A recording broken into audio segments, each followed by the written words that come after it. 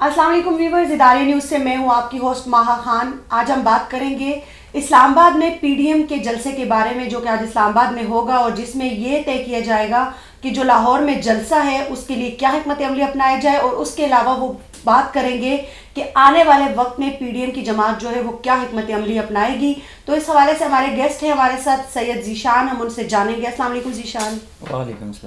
जीशान आप हमें बताएँ कि जो पीडीएम का आज एक बैठक होगी इस्लामाबाद में तो क्या उसमें क्या मुशावरत होंगी? क्या हमत अमली अपनाई जाएगी आने वाले वक्त के लिए? थोड़ा हमें बताइएगा। देखिए पीडीएम का जो आज इजलास है इस्लामाबाद में और बहुत अहम बैठक है ये इसमें मौलाना फलरहमान की ज़र सदारत वो पीडीएम की जितनी भी पार्टियाँ हैं नौ जमातें हैं वो सारे मिलकर बैठेंगे। आ, वैसे तो इनके पास ऑप्शंस है मुख्तलिफ़ किस्म के और ये बार हाँ कई दफ़ा बता भी चुके हैं। पहले पहले तो ये जो इनके लाहौर के जलसा है, उस हवाले से वो अपना लाया तय करेंगे कि क्या करना है, कैसे करना है, क्योंकि गवर्नमेंट की तरफ़ से उनको भी इजाज़त नहीं जिस तरह मुल्तान का वाक़ हो गया था और मुल्तान में हुकूमत ने उसको इजाज़त नहीं दी थी और उसके बावजूद पी डी एम ने अपना जलसा करा तो लाहौर में भी उसी किस्म की मुश्किल उनको पेश आएँगे। तो उसके लिए पी डी एम अपना हमत अमली जो है वो तैयार करेंगे। दूसरी बात ये कि जो मुस्तबिल के हवाले से उनकी हमत अमली होगी, वो ये होगी कि उनके पास बहुत सारे ऑप्शन, अजीर गौर है, जिस तरह मौलाना फुलरहमान कई बार बता भी चुके हैं कि जेल भरो तहरीक हम शुरू करेंगे, हम मुस्तफ़ी हो जाएँगे, पार्लियामेंट से, हम सेनेट से इस्तीफ़ा दे देंगे। तो ये बहुत सारी रो, रोज़ाना के बुनियाद पर जो है वो एहतजाज करेंगे तहरीक चलाएँगे और हकूमत जब तक ये हकूमत से जान नहीं छोड़ती जब तक ये हकूमत जो है वो फारग नहीं होती और वज़ी अजम इमरान ख़ान मुस्तफ़ी नहीं हो जाते तो हम जो है ये अपना तहरीक जारी रखेंगे। अब सवाल यहाँ पे ये है कि अगर फ़र्ज़ करे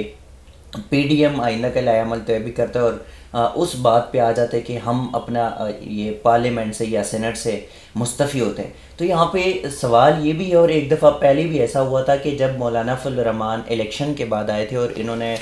दो हज़ार उन्नीस में इस्लामाबाद की कश्मीर हाईवे को बंद किया था और वहाँ पे भी इन्होंने अपना एहतजाजी धरना किया था और बारह तेरह दिन वो धरना रहा और उसमें पीपल्स पार्टी और पीएमएलएन भी साथ थी और एएनपी वगैरह, लेकिन एएनपी और ये बाकी जो छोटी मोटी पार्टियाँ पश्तनख्वा मिलिया पार्टी, इसके तो खैर उसको एक साइड पे कर, लेकिन दो जो बड़ी जमहूरी पार्टियाँ हैं, एक पाकिस्तान मुस्लिम लीग नून और पाकिस्तान पीपल्स पार्टी, उस वक्त भी इन्होंने साफ़ इनकार किया था कि हम मुस्तफ़ी नहीं होंगे। तो अगर वहाँ पे अगर इन्होंने ये इलेक्शन को ये ज, जिस तरह इसका आज ये नारा है ये कि सिलेक्टेड गवर्नमेंट है जाली इलेक्शन हुआ 2018 में तो फिर अगर ये पार्लियामेंट छोड़ देते हैं सेनेट से चले जाते हैं तो मुस्तफ़ी हो जाते उसी दौरान। उस वक्त इन्होंने स्टेप बैक किया और उन्होंने इस्तीफ़े नहीं दिया। अब मौलाना फल रहमान अगर फ़र्ज़ करिए आप कह भी देते हैं कि आप मुस्तफ़ी हो जाते तो मौलाना साहब के पास टोटल है नौ सीट्स तो नौ सीट्स तो अगर चली भी जाए कोई मसला नहीं पीपल्स पार्टी सिक्सटी प्लस है अपना पी एम एल एन जो है, उसके पास एटी प्लस सीट्स है तो वो कौन पागल होगा जो अपनी नशस्तें जो है वो खाली करेंगे? इसी तरह सेनेट में भी उनके पास अक्सरियत की सीट्स है पीपल्स पार्टी के साथ भी है। तो मुझे नहीं लग रहा कि ये जो दो जमातें हैं, ये इसम्बलियों से मुस्तफ़ी होने के उस पर ऑप्शन पे गौर करेंगे। यहाँ पे इस ऑप्शन पे जिस तरह पहले भी इनका जो मौलाना फलरमान का जो धरना नाकाम हुआ था इस्लामाबाद में और बग़ैर किसी लिए वो यहाँ से निकल पड़े थे और वापस गए अपने घरों को और वो लोग भी चले गए उनके कारकुन वगैरह तो इसी भी अब भी भी यही लग रहा है कि अगर फ़र्ज़ करे इस ऑप्शन पे आ जाते तो मुझे नहीं लग रहा कि पीपल्स पार्टी या पाकिस्तान मुस्लिम लीग नून जो है वो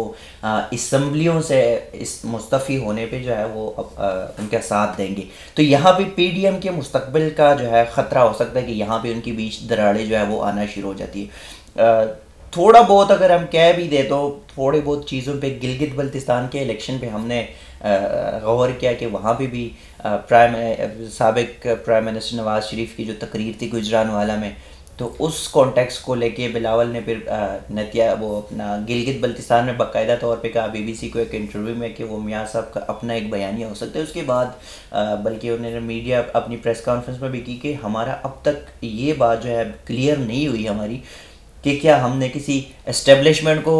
हमने इदारे को टारगेट करना है, हमने बाई नेम जो है नाम लेने हैं किसी की। क्योंकि नवाज़ शरीफ ने बाकायदा तौर पर आर्मी चीफ और डी जी आई सी का नाम लिया था तो उस पर पीपल्स पार्टी का उनके साथ इख्तलाफ था। मौलाना फजलरहमान का जो है, उनका भी एक स्टांस आ गया था पेशावर जलसे में कि